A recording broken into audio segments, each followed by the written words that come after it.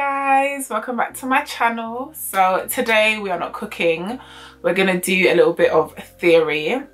And I just thought I would do a little video for you guys with all of my basic kitchen essential utensils or essential kitchen utensils however you want to word it um, when you are following recipes or when I'm creating recipes it's important that you follow it as closely as possible because however the person has created that recipe that is how you get the flavor that they intend for you to have. In doing so it's also important that you have the right equipment as well. I hope you guys enjoy this video and we'll just get into it. So this is taking me out of the screen but this is my wooden chopping board you definitely need a chopping board because you don't want to be chopping up your goods on the counter, do you? I've got a big wooden one and then I've also got a set of like coloured ones just to be a bit hygienic. So it's got red for meat, blue for fish, green for vegetables and white for like cooked food or like dry food or whatever. So yeah, you definitely need a good, good chopping board. Have one, obviously every time you change the type of product that you're using it for, you give it a good wash and a clean. You can get glass ones, plastic ones. I just like the aesthetic of a wooden chopping board. So this is a, I call it a vegetable peeler. You can use it to peel your carrots, your turnips and your parsnips, whatever. My parents are very, very Jamaican. I myself, I believe I'm very Jamaican and I'm used to peeling things like this with a, like if this was a small knife and you would do like this with a knife. That's just how I was taught but that is not necessarily safe. I don't want to encourage you guys to do that.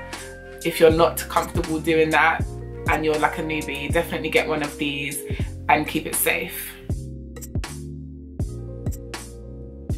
So these are two, oh, I'm gonna put on the screen what you would call these. I don't actually remember, but they're two what I call good knives. They're large, they're sharp. You have to make sure you keep them sharp as well. Let me not even cut my face. But as long as you've got one, maybe one like this, like anything that looks like this, this is a good place to start from. If you're not comfortable with knives, it's always safer to chop on the board, remember that. Have a good knife so you can cut up things and then over time you can expand your knife collection. But if you're not like trying to do up chef life, then I think one of these will be sufficient.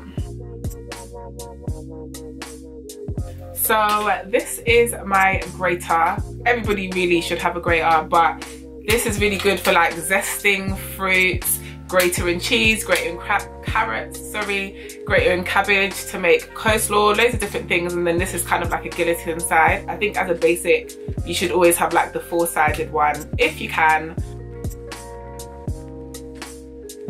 I'm sure you guys have seen me use this a lot predominantly I use it to squash my garlics but this is actually a meat tenderizer. So you've got two sides and when you've got like breasts or I think sometimes even steaks whatever any type of kind of like tough meat that could just do with a bit of softening up you use this. But I love to use it to squash my garlics and then peel the skin off. That's what you'll see me using it for more time so this is my scale. It's very basic. I don't really have a fancy one. I do need to upgrade it. And you need a scale for measuring out ingredients. This one, it's got functions for measuring out liquids and also dried goods. So it's got like milliliters, fluid ounces, grams, kilograms, and pounds, depending on the type of recipe that you're following. And just, yeah, like that and also if you um, try to be healthy you calorie count as well you need a like a basic scale to help you convert things into calories. So this here is my seasoning bowl or mixing bowl.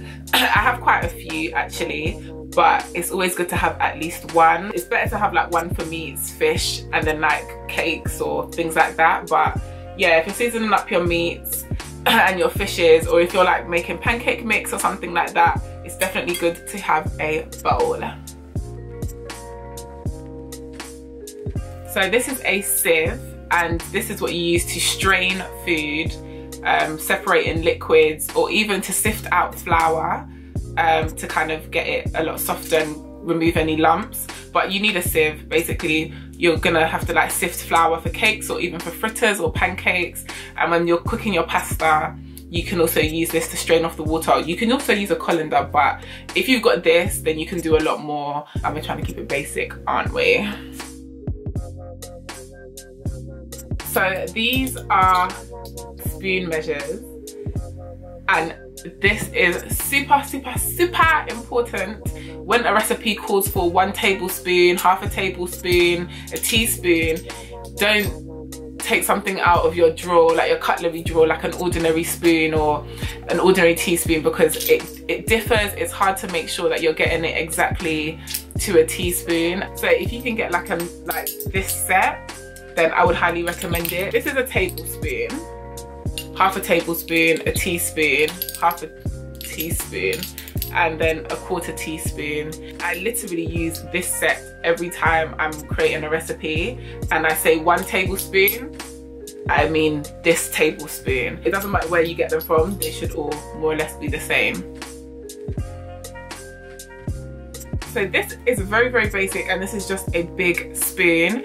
It's like a mixing spoon. You could use it to serve, you can use it to mix when you're doing things like curry goat, rice and peas, jollof rice, stew, whatever, you need a good spoon. You can't be using the little spoons that you've got when you're drinking your soup or something like that. It's just not appropriate. And then you'll get your fingers all up in the food and yeah, so you need a good spoon. This is my measuring jug. So at the moment, this is what I'm using because my parents actually stole the nice Pyrex one that I have. But this is for measuring out your liquids. It's got milliliters on one side and fluid ounces on the other side. I think generally, most people tend to work in milliliters in the UK.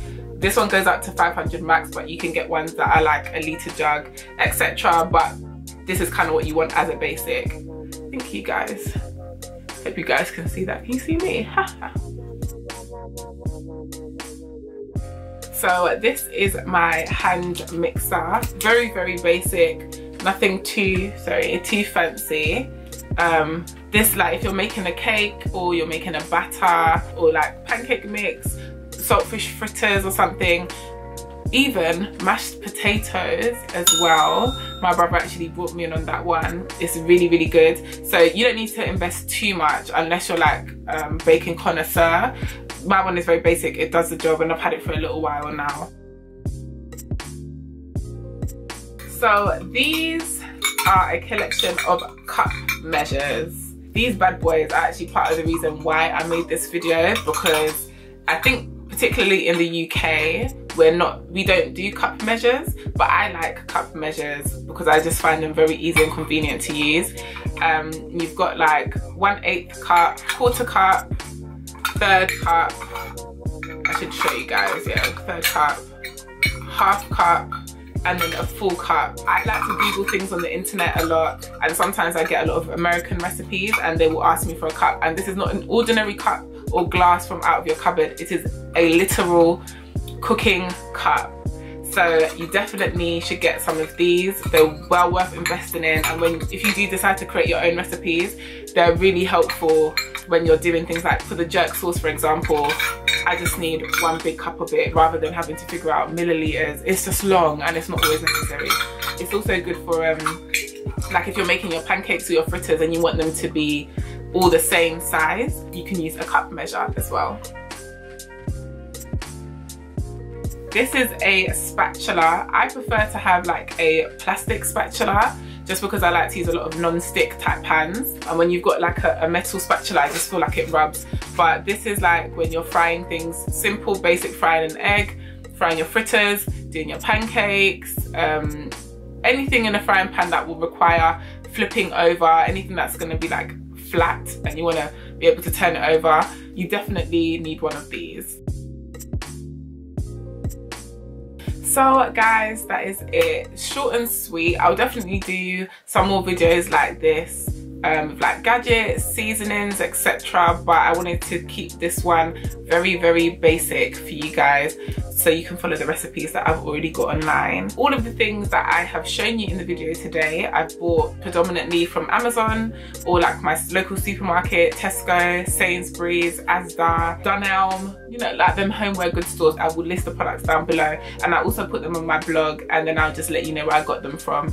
But a lot of this stuff is, is quite old, so you might not be able to get exactly what I've got, but I will do my best so that we can all be matching and we can be twins. Yay. If you enjoyed this video, please remember to give me a thumbs up. If you've got any questions, just drop them down below in the comments and I will surely respond when I get the time. Remember that this is very basic and I will be updating and keeping you guys in check. So yeah, I love you guys and I shall see you next time.